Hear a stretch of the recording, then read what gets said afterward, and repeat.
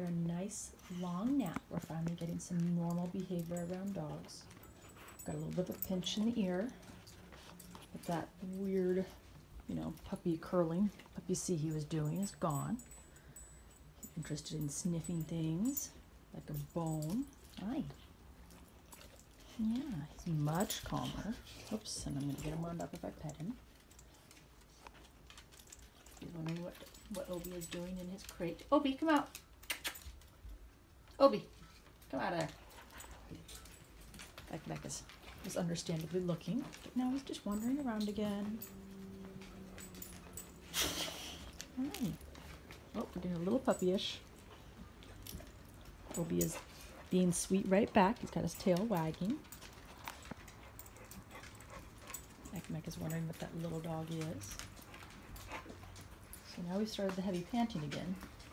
So we're starting in distress. The other dogs are walking outside, and I'm just going to walk with them.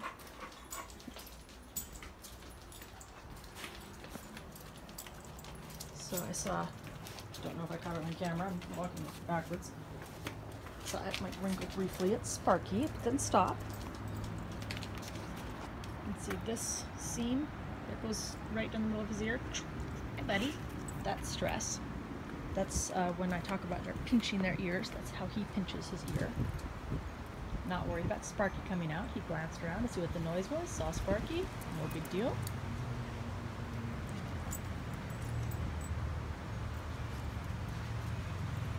Sparky, if you poop on my patio again, he's gonna poop on my patio. This is excellent. This is what I wanted to see. Yay!